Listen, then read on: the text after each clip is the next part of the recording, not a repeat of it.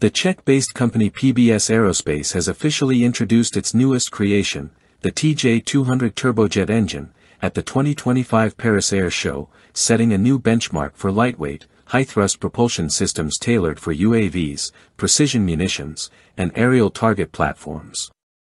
Now transitioning into limited production, the TJ200 brings a dramatic leap in output and efficiency to the tactical propulsion arena, underscoring PBS's evolving role in cutting-edge aerial technologies. Delivering 50% more thrust than earlier generations, the TJ200 emerges at a time when global militaries are seeking compact engines capable of delivering outsized performance.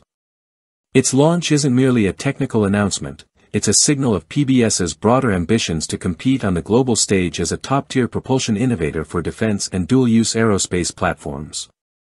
The new engine stems from years of dedicated engineering, testing, and optimization.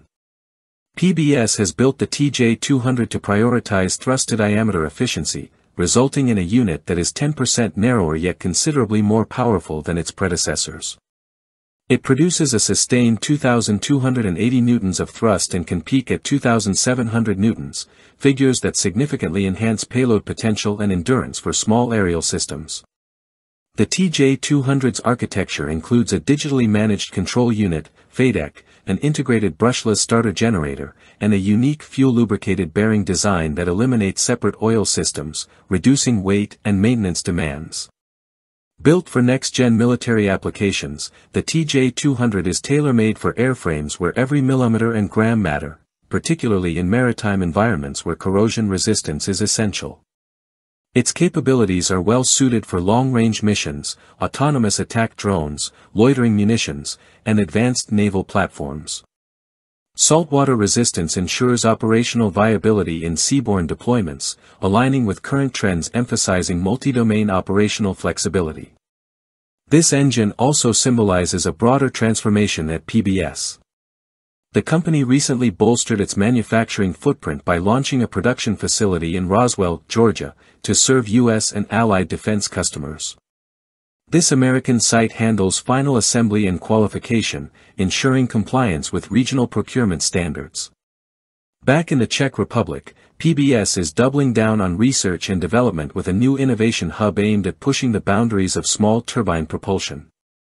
Market demand is already building around the TJ200, with multiple international clients reportedly in late-stage contract talks. Its modularity and small form factor allow it to be easily integrated into both legacy and next-generation platforms, giving designers more freedom in airframe layout and mission systems integration.